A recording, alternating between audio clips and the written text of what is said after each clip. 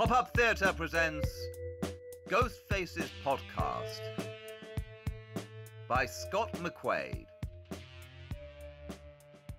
Welcome, listeners, to a very spooky edition of Red Eye Podcast. I'm your host, Scarlett. I would like to wish everybody a happy Hallows Eve.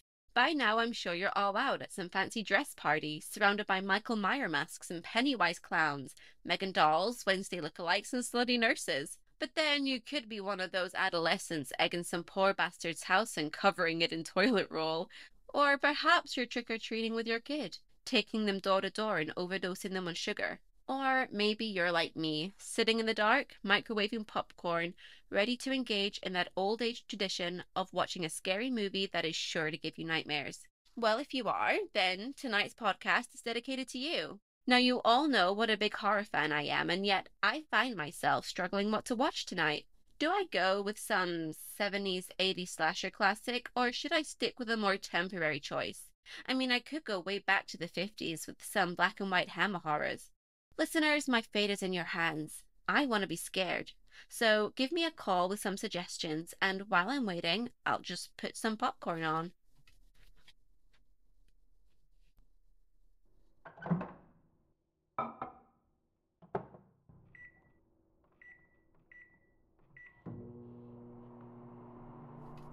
Right. Any callers? No? Okay. Well, while I'm waiting, I thought I might enlighten you with the origins of Halloween, in case you didn't know. The Halloween holiday has its roots firmly in ancient Celtic festivals, a pagan religious celebration to welcome the harvest at the end of the summer, when people would light bonfires and wear costumes to ward off ghosts. Now, by the time this festival reached America, it had. Oh, wait, I have a caller. Hello? Hi, Scarlett. Happy Halloween.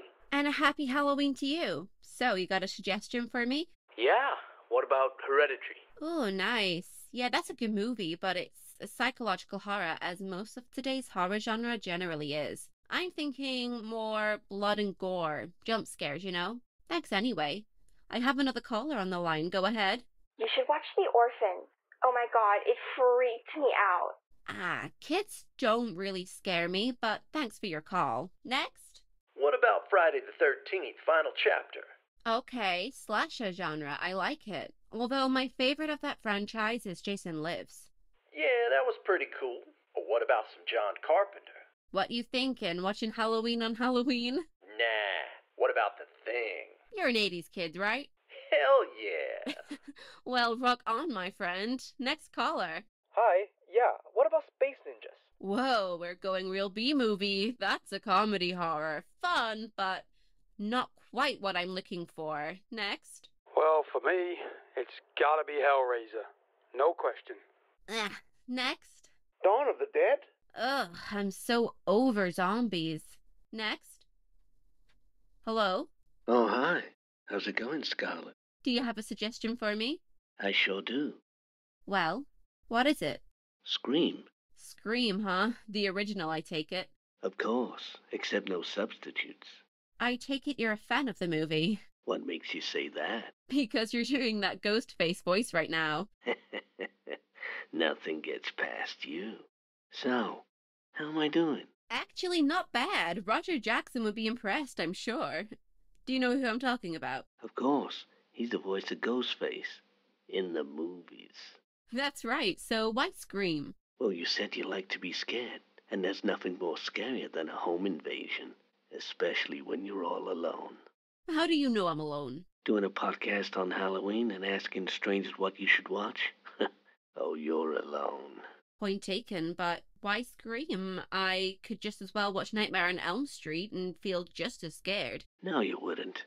Why not? Because Freddy Krueger isn't real. He's a monster. Fantasy in your dreams. Whereas Ghostface is a regular person with a knife. And that is real. It could be anyone. Maybe someone listening to your podcast.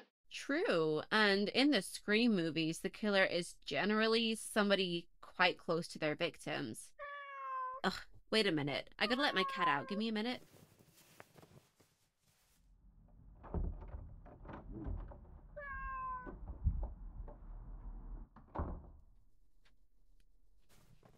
All right, where were we? What's your cat's name? Chucky. like the doll. I like it. when are you gonna drop the Ghostface act? Who says it's an act? Okay, so then if you're Ghostface, I guess you gotta ask me that famous question. Oh, yeah, that's right. Come on then, hit me. What's your favorite scary movie? That was good. I got chills. Honestly, um, the Texas Chainsaw Massacre 2 messed me up for weeks. Uh, but you know, I've got to go with the classic, Psycho. oh my god, how did you know? Lucky guess. I think Psycho is the film that started off the slasher genre, and you know, to this day, I still can't take a shower without having a moment of anxiety where a potential killer could be on the other side of the shower curtain. it left such a mark on me. Much like the way Jaws made you scared to go into the sea, you know. So, what about you? You only a Scream fan? I'm interested in anything where somebody's getting gutted like a fish. Really into the gore factor, ain't ya? Well, yeah, I can see why you like Wes Craven's work. You're a fan too, judging by the title of your podcast. Well, his Red Eye movie was very understated, but I really liked it and it has a steady, loyal fan following, kind of like my podcast, so I guess it worked out. Wanna play a game? wow, you're really playing it close to the script. Uh, have I got time for this? Sure you do. Plus, I bet I know more about horror movies than you do. Oh, it's on. Shoot. In the script for Halloween, what was Michael Myers noted as? The shape.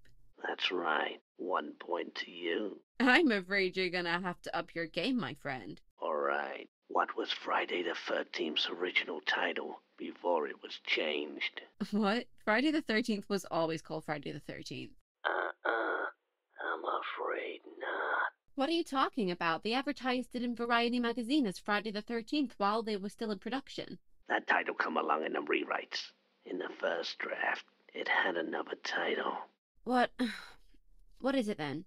A Long Night at Camp Blood. No way.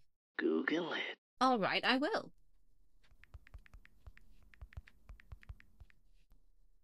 Shit, you're right. Well, there's a first, listeners. I've been schooled by Ghostface.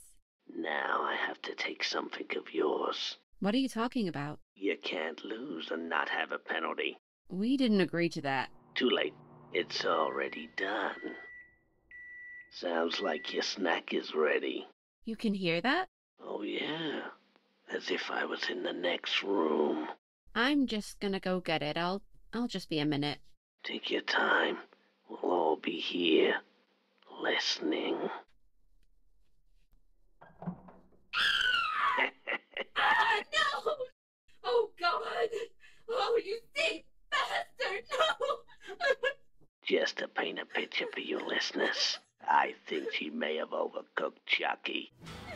Listen, you fuck! I'm calling the police and I'm gonna. Don't you listen, you little fucking bitch. In the area you live, the first responders are at least seven minutes away, where I'm much closer. Listeners, call the police. Somebody help me. Ready for your final question. I'm gonna hang up now. If you do, you're dead. Whereas if you play, maybe you'll get the answer, and I'll let you live. I, I don't want to do this anymore. Come on, Scarlett. You gotta be in the game to have a chance. Please, please, please just go away. Here's a final question. In Scream 2, when the movie Stab is playing in the theater, who actually directed the movie within the movie? Um, it, it's Wes Craven. He directed the movie, so he would have directed the fake movie in it as well. I'm afraid that's the wrong answer. No, what? No, no, it has to be. The scenes in the Stab movie were actually shot by Robert Rodriguez. How, how do I know that's true? How do I know you're not just making it up? A real horror fan would know. Wait, wait, wait, wait. You gotta give me another chance. All those years of watching scary movies, think Scarlett.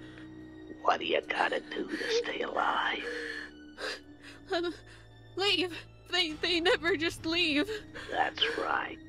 Problem is, I'm already here. What?